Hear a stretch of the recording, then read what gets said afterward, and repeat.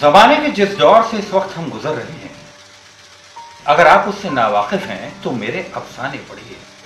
अगर आप इन अफसानों को बर्दाश्त नहीं कर सकते तो इसका मतलब यह है कि यह जमाना नाकाबिल बर्दाश्त है।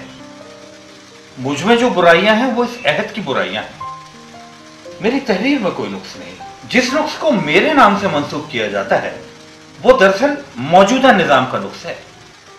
मैं हंगामा पसंद नहीं मैं लोगों के ख्याल और जज्बात में हेजान पैदा नहीं करना चाहता। मैं तहजीब तमद्दुन की और सोसाइटी की चोली क्या उतारूँगा? जो है ही नंगी।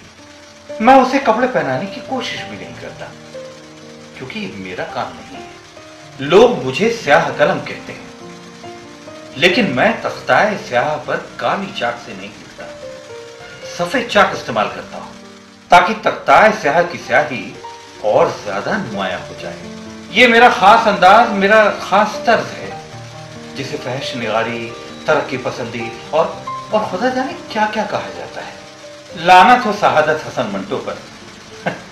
कम वक्त को गाड़ी भी सलीके से नहीं दी जाती।